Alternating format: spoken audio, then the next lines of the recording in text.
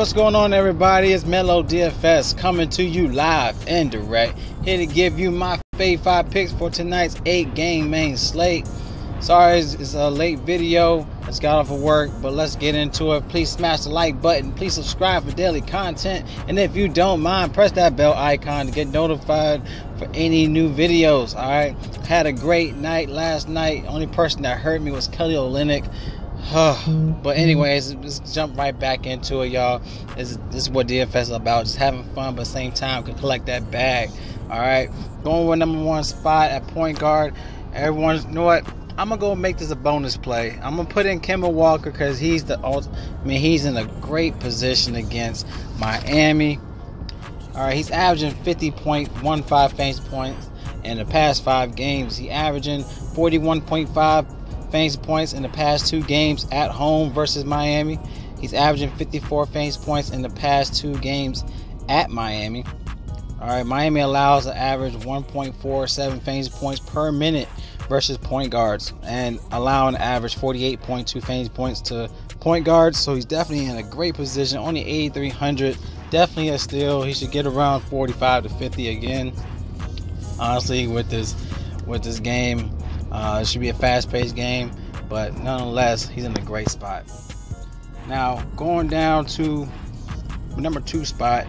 I'm gonna plug in the guard. I'm actually looking. He's a great pivot. If you could plug him in, if you don't have room for Kemba, which you should be playing Kemba, I have another guy that's in a great position tonight. Mike Conley versus Washington in a great spot tonight. He's averaging 44.5 fantasy points in the past two games versus Washington at home. Washington allows an average 54.6 fantasy points to point guard, average around 9.3 assists a game. They allow an average 1.17 fantasy points per minute.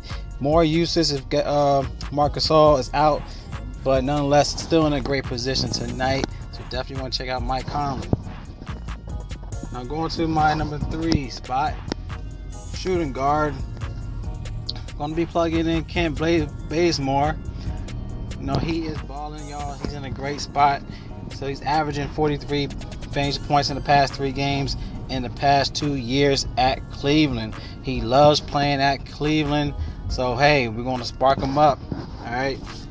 Let's see. Sorry about that. He only has only 5,700, which is a steal in the value in that price range. You're looking about 25, but this guy could definitely go off about 40 fantasy points tonight. All right, Cleveland allows an average 46.39 fantasy points to shooting guards. They allow an average 7.08 rebounds a game and allow 5.35 assists a game. Bazemore is in a great spot, so definitely want to plug him in, knowing his history at Cleveland.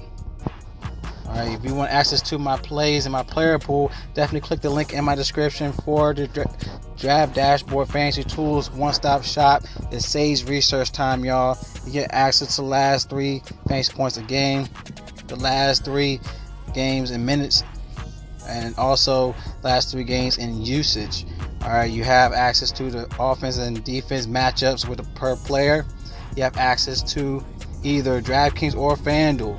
So it's definitely a one-stop shop. Limited time right now for 30 days for a dollar. Once you sign up, you have access to your sleepers, your studs, and once you click the watch players list, you have access to Melo's DFS picks. Just press that button, you have access to all my picks, y'all, and you can plug them in into the lineup optimizer to generate quality lineups, y'all. So definitely check it, take a look. All right. Now going back to my my next pick, going out small forward. Tobias Harris in a great position. He's averaging 34.4 minutes a game. Also, going against OKC, they allow an average 50.96 fantasy points versus a small forward position. They allow an average nine rebounds a game. All right, he's averaging 36 fantasy points at OKC in the past two games last year. He even had a 40 he had a 49 fantasy point game at home against them on the 19th of this month. So definitely he's in a great position. Only 7,800 on DraftKings. He should definitely get over 35.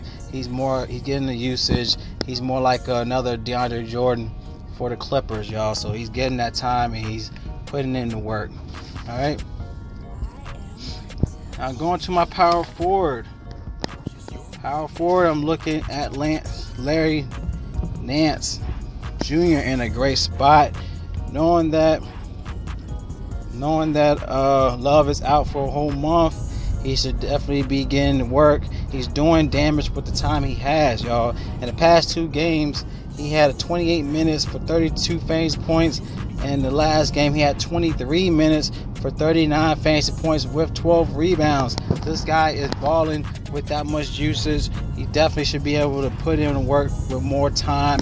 He's at a great rate at 6,200. Definitely give you about 35, hopefully 40, but nonetheless in a great position against ATL. One of the worst defense against the power forward position. They allow average 53.56 fantasy points against the power forward position. They average allowing 14.64 rebounds a game. This guy has a great ceiling tonight. Definitely want to plug him in your plays. Now going for my number six spot. So gave you a bonus play. So definitely want to check out in the center position. I am looking into Willie Cauley Stein in a sorry about that. In an amazing position tonight. All right. Going against uh, going against Orlando, he's averaging 46 fantasy points in the past two games, with average 33.5 minutes in the past two games, averaging 12 rebounds in those two games. Now, he, last year he had a 49 fantasy point game at Orlando for 33 minutes with nine rebounds. So knowing that's that at Orlando, he still gives good numbers. He could definitely hit this value only at 6,300 tonight, and that's a great spot for him. He should definitely put in work. I know it's a back-to-back game, but nonetheless, he should be able to do damage. Um, oh, you know, I mean, he got to deal with Vol- uh, check, but nonetheless, he should be able to still put in work for the squad. And that's my six plays. You know, you got five with the bonus pick. Cause you got to plug in Kemba, so I'm not going to fade him. And that still gives you 4,050 for the remaining two spots, y'all. So definitely, if you like my plays, give me a thumbs up. Any questions or concerns with your lineup, feel free comment below. Love y'all. Y'all collect that bag tonight.